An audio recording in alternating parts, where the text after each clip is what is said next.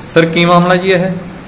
ਇਹ ਮਾਨਯੋਗ ਐਸਐਸਪੀ ਸਾਹਿਬ ਜਲੰਧਰ ਦੇ ਆਤੀ ਸ਼੍ਰੀ ਸੰਦੀਪ ਕੁਮਾਰ ਗਰਗ ਆਈਪੀਐਸ ਦੀ ਰਹਿਨਮਾਈ ਹੇਠ ਜਿਹੜੀ ਆ, ਰਾਤ ਰਾਤਾਂ ਨੂੰ ਜਿਹੜੀਆਂ ਗਸਤਾਂ ਚਲਾਈਆਂ ਹੋਈਆਂ ਨੇ, ਕਈ ਲੁੱਟਾਂ ਖੋਹਾਂ ਕਰਨ ਵਾਲੇ ਗੈਂਗ ਜਿਹੜੇ ਆ, ਉਹ ਘੁੰਮ ਰਹੇ ਨੇ। ਜਿਹੜਾ ਸਾਨੂੰ ਇੱਥੇ ਸਾਡੀ ਪੁਲਿਸ ਪਾਰਟੀ ਖੜੀ ਸੀ, ਅੱਡਾ ਬੱਸ ਅੱਡਾ ਨੂਰਮਹਿਲ ਉੱਥੇ ਇੱਕ ਸਕੂਟਰੀ ਨੂੰ ਉਹਨਾਂ ਨੇ ਰੋਕਿਆ। ਉਹਨੇ ਸਕੂਟਰੀ ਜਿਹੜੀ ਆ ਉਹ ਭਜਾ ਲਈ ਜਿੱਤੇ ਦੋ ਨੌਜਵਾਨ ਸਵਾਰ ਸੀਗੇ।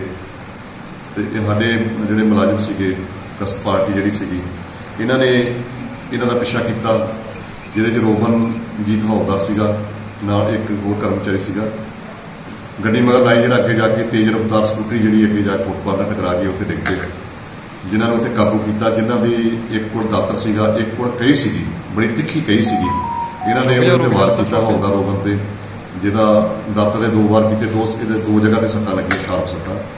ਉਹ ਹਸਪੀਟਲ ਦਾਖਲ ਆ ਰੋਗਨਜੀਤ ਦੇ ਨਾਲ ਜਿਹੜਾ ਮੁਲਾਜ਼ਮ ਸੀਗਾ, ਮੁਲਾਜ਼ਮ ਠੀਕ ਆ। ਇਹਨਾਂ ਕਾਬੂ ਕਰਕੇ ਅਸੀਂ ਨਾਲ ਹੀ ਪੁਲਿਸ ਪਾਰਟੀਆਂ ਹੋਰ ਸਾਡੀਆਂ ਬਾਹਰ ਘੁੰਮ ਰਹੀਆਂ ਸੀਗੀਆਂ। ਮਹਿੰਦਰਪਾਲ ਸਬ ਇੰਸਪੈਕਟਰ ਬਾਹਰ ਸੀਗਾ। ਉਹਨਾਂ ਉਸੇ ਗੱਡੀ ਭਜਾਈ ਉੱਥੇ ਮੌਕੇ ਤੇ ਪਹੁੰਚ ਗਏ। ਜਿਹਨਾਂ ਨੇ ਕਾਬੂ ਕਰਕੇ ਜਿਹੜਾ ਇਹਨਾਂ ਨੂੰ ਇਹਨਾਂ ਦੇ ਖਿਲਾਫ ਮੁਕੱਦਮਾ ਜਿਹੜਾ ਉਹ 307 ਦਾ ਸੀ ਦਰਜ ਕੀਤਾ। ਇੱਕ ਤਾਂ ਮੁਲਾਜ਼ਮਾਂ ਤੇ ਹਮਲਾ ਕੀਤਾ। ਦੂਜਾ ਇਹਨਾਂ ਨੇ ਲੁੱਟ ਖੋਹ ਦੀ ਨੀਅਤ ਨਾਲ ਤੁਰੇ ਫਿਰਦੇ ਸੀ।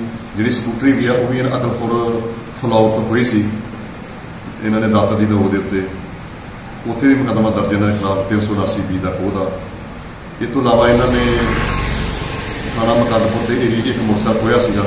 ਉੱਥੇ ਵੱਡੀ ਵਾਰਦਾਤ ਕੀਤੀ। ਉਸ ਤੋਂ ਬਾਅਦ ਇਹਨਾਂ ਨੇ ਇੱਕ ਮਹਿੰਗਾ ਮੋਬਾਈਲ ਖੋਇਆ ਸੀ ਜੰਡਿਆਲੇ ਦਾ ਕੋਈ ਕਾਫੀ ਮਹਿੰਗਾ ਸੀ 25000 ਰੁਪਏ ਦਾ।